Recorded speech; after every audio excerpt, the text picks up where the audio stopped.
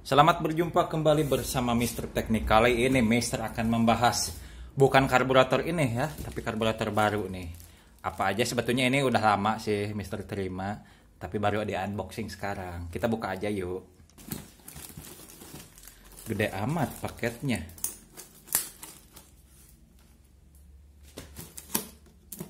Paketnya gede banget padahal cuma karburator doang. Karburator apa coba tebak? Hmm. PE Powerjet pertama di Indonesia. Uh, gede amat packingnya. Inilah dia. TK Racing. Ini adalah Powerjet pertama karburator PE ya. Ini TK Racing Mister sengaja ambil ukuran 30 buat ini nih, si ini. Kemarin kan pakai Uma sama Kawahara yang PWK. Ini Mister pengen coba PE tapi yang gede dan ada Powerjet. Oke? Okay? Sebelumnya kita bandingkan ya sebagai acuan karburator yang Mister sangat favorit, sangat suka yaitu Keihin apa coba? Keihin PE28 CH29 merek Motowan. Oke, kita bandingkan saja ya. Di sini isi paketnya itu pilot jetnya dapat bonus 40 42, main jetnya uh, 20 eh 120 122 128. Ini kekecilan ya kalau untuk Ninja. Tapi kalau untuk motor lain ya nggak bisa. Bentar ya ada adzan dulu ya berhenti dulu. Oke setelah azan barusan selesai kita lanjut lagi ya. Mister juga mau sholat. Hmm, inilah kemasannya eksklusif ya. Kemasannya gede. Up up up up. Inilah penampakannya. Ini powerjet nih.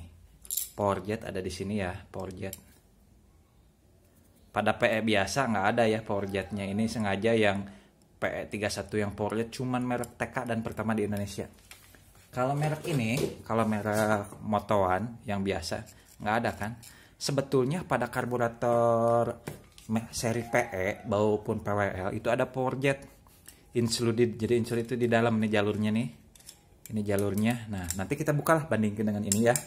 Ini power jet Mister pilih ukuran 31 karena Mister pingin si Ninja ini lebih kenceng pakai PE seri PE ya karena sebelumnya pakai PWK yang UMA 30 dan ini hmm, Kawahara juga PE 28 tapi di limmer jadi 30 sebetulnya ini. Ini limmeran ya 28 di limmer jadi 30. Ini 28 tapi di limmer jadi 30. Makanya Mister pingin coba seri PE yang ukuran 31. Oke, kita bandingkan kita bongkar. Secara dimensi fisik Mister sangat suka loh warnanya ini memang bukan warna aluminium. Ini ukurannya 31 ya 31 dan yang paling mister suka adalah coknya cuk. Bersatu di sini ya.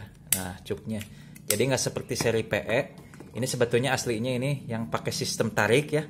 Seri PE itu karena aslinya buat NSR ya. NSR jadi cuknya sistem cuk pakai kabel bukan cuk tarik. Begini ini cuman kemasnya kemarin Mister ubah cuknya dari standar PWL dipindahin ke sini. Udah videonya udah Mister bahas di video yang udah Mister upload. Jadi aslinya ini tipe PE itu cuknya itu cuk kabel jadi bukan cuk tarik begini.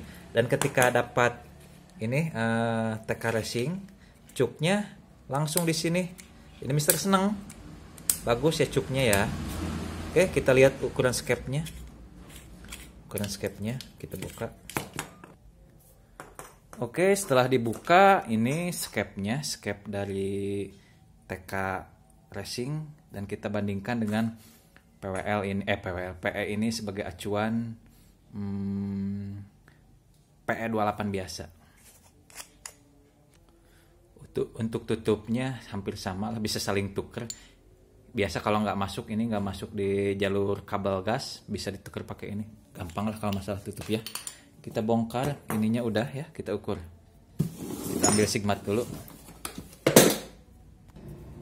Kita ukur dulu yang PE28 motowan ya. Ininya 30 ya. Ukuran ininya 30. Nah, 30 mili ya, alias 3 cm. Dan kita ukur ini. Kita ukur juga dan hasilnya sama 30 juga 30 mili karena memang sebelumnya Mister pernah beli merek Moto One yang PE 30 skepnya lebih besar itu sekitar 31 32 kalau nggak salah itu yang skep yang Moto One yang PE 30 dan pernah Mister juga beli PE 30 Rimmer 32 skepnya itu 31,5 ini diameter ininya. Tapi yang sayang disayangkan merek Moto One yang bagus itu hanya PE 28 aja yang CH29 yang Mister pernah beli PE 30 dan 32 udah Mister kasih sama temen itu jelek skepnya gampang baret dan ini dilihat nih kodenya 9C sama ya eh 9FC Nah. Nah, ini 9F 9FC dan ini juga 9FC. Jadi sama ya untuk skep sama. Jadi Mister sangat suka skep sama ya. Ini memang kuat, nggak masalah lah 31 skepnya biasa. Emang idealnya sih kalau untuk ukuran 30 ke atas skepnya udah 32 atau 31,5 ya. Tapi sayangnya merek Motawan nggak bisa memenuhi keinginan Mister jelek, susah disetting dan skepnya gampang baret. Kalau ini skepnya, hmm, bagus, berat, berat dan bagus ya. Ini untuk skep PE28 biasa merek Motoan dengan TK sama ya untuk skep. Selanjutnya kita bongkar dalamannya. Oh iya sebelum dibongkar kita ukur dulu ya. Siapa tahu nggak yakin kalian yang 31 saya juga belum yakin kalau nggak diukur. Ukurannya berapa ya? Oh benar eh.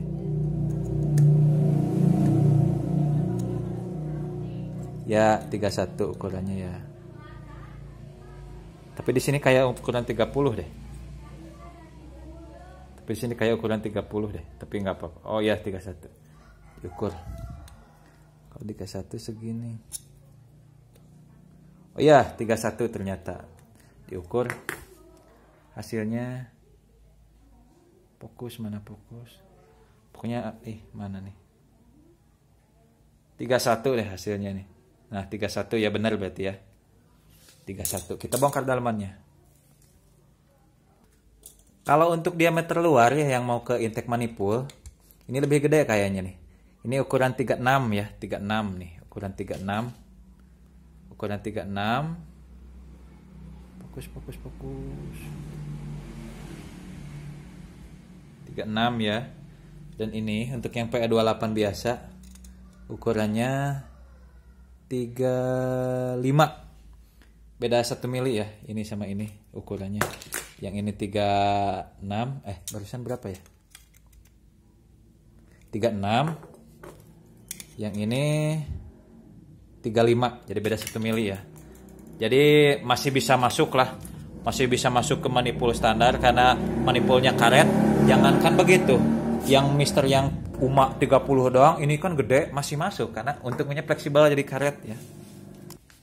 Ini udah dibuka mangkoknya. Ini Mister mau bahasnya panjang ya nggak apa-apa panjang tapi kalian memahaminya daripada ini. Nih ada perbedaannya. Perbedaannya apa Mister? Nah di sini nih ini adalah jalur untuk power jetnya. Di sini jalur untuk power jet. Nah, bentar.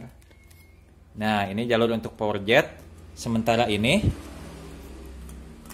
jalur power jetnya buntu. Nah, ini nah ini jalur power jetnya buntu. Sebetulnya seri PE itu PE PWL udah dari pabriknya itu sebetulnya udah ada jalur untuk power jet tapi sama pabriknya nggak dibikin ini nih. Nah, aslinya kan nah aslinya kan dari sini itu tembus ke sini, tembus ke sini, tembus ke sini. Nah, di sini itu ada lubang power jet. Nah, seperti ini ya. Ini yang udah power jet. Nah, ini tembus sampai bentar ini Mister pakai alat ini ya. Nah, dari sini itu tembus sampai sini ya. Tembus jalurnya itu sampai sini. Jadi di dalam jalurnya tembus lagi sampai sini. Nah, dari sini itu tembus lagi sampai sini. Nah, sampai nah ini lubang porjet. Nah, kalau pada seri ini nih PWK, nah ini kan di luar. Ini dari dari jalurnya di luar, ini ke pinggir, sampai ini. Nah ini kelihatan memang jalurnya gede. Jalurnya gede tapi di dalamnya itu ada ukurannya juga walaupun gede. Nah di dalamnya ada ukuran juga. Ukuran untuk power jet itu macam-macam sih lubangnya itu kalau yang untuk seri PWK kita bongkar aja. Ini untuk supaya tahu aja lah nggak apa-apa. Durasinya agak lama. Nah di sini itu ada ada ini lagi gitu. Nah ada ukurannya untuk seri PWK ya. Di sini itu ada ukurannya kita keluarkan. Nah. Walaupun jalurnya gede di sini ya lebih gede daripada yang ini. Tapi ini yang untuk yang seri PWK ada ukurannya. Nah, ukurannya kecil ini. Mister punya ukuran 1,0 ukuran 1,0 ini macam-macam ada 0,9 1,0 sampai 1,2 ada ya. Kita pasang lagi. Kalau pada seri PWK itu walaupun lubang ininya gede tapi tetap dari sininya kecil ya 1,0 nah ini untuk seri ini nih untuk yang seri TK Racing ini kisaran ukurannya 0,9 0,8 ya kecil ya tapi lumayan kenapa sih Mister pilih TK Racing? Karena pertama udah ada Powerjet dan nama TK Racing itu udah ada sejak Mister dulu ikut road race lah tahun 98 pertama ikut road race itu balapan dulu pembalap amatir. Merek TK udah ada setara seangkatan dengan merek Daytona di Indonesia. Jadi banyak sih merek karburator yang bagus tapi murah kayak Panom, Ride It, Scarlett. Ya emang bagus nggak masalah lubang-lubang di dalamnya presisi. Tapi masalah keawetan sih ada harga ada rupa memang kawetan dari segi material bahan, kalau aluminium yang bagus itu tahan karat aluminium. Ini jangan salah ya. Aluminium juga punya karat, tapi karatnya bukan karat kayak besi, tapi karatnya itu kayak jamur, kayak kapur gitu. Jadi menyerang pada aluminium itu kayak aduh nanti dicontohkan ada karburator yang satu mister terserang sama penyakit karat ya istilahnya karat pada aluminium. Jadi putih-putih gitu. Di grus itu udah habis aluminium itu. Oke kita buka yang lain lagi jalurnya. Kita buka pilot jet dan main jet. Memang ini Mister mau ganti mau ganti pilot jetnya mau ganti ukuran 38 eh 58 karena untuk Ninja 58 atau 55 dan main jetnya mau ganti Mister sama PWK ya. Ini ini pilot jetnya barusan itu ukuran 35 main jetnya 100 15 kekecilan ya kalau untuk ninja. Tapi nggak masalah ya. Lebih baik ini kebetulan dapat bonusnya juga. Dapat bonus juga pilot jet, main jet ini ada banyak. Pilot jet ada tiga, eh ada dua, main jet ada tiga. Ini nggak apa-apa. Ukurannya kecil-kecil. Lebih baik kecil. Nanti kalian bisa gedein daripada gede. Susah dikecilin gitu ya. Kita buka. Bentar.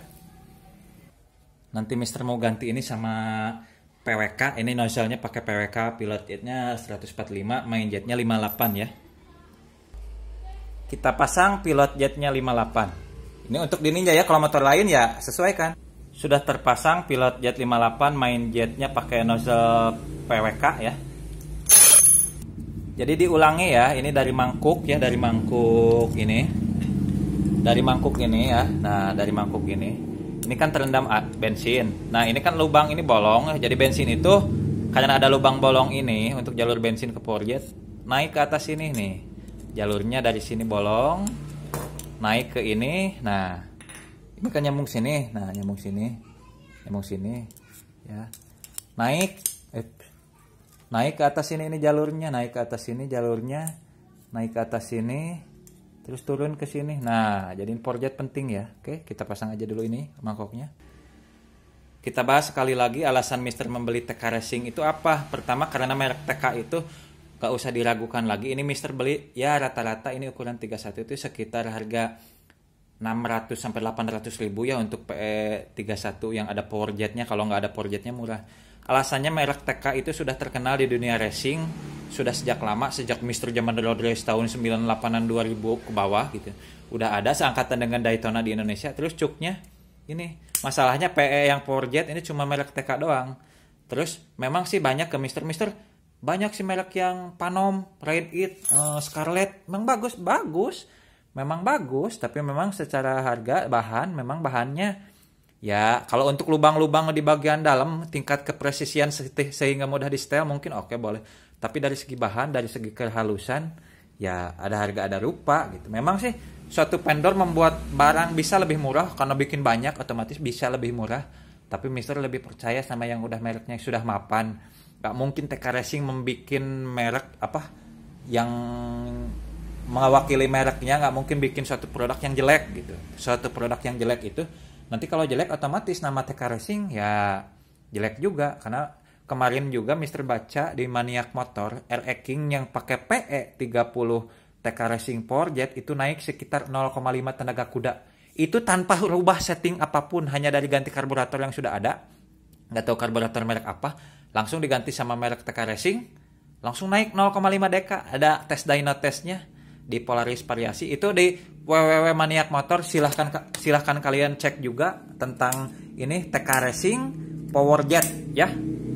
Mungkin itu aja ulasan ini. Mau Mister pasang di si Ninja Buluk ini nanti hasilnya Mister akan kasih tahu kalian mungkin akan tes atau enggak. Yang jelas Mister maaf panjang-panjang jangan lupa like and subscribe tentang ini hari ini TK Racing PE30 Powerjet. Oke, jangan lupa like and subscribe. Selamat pagi, selamat siang, selamat malam.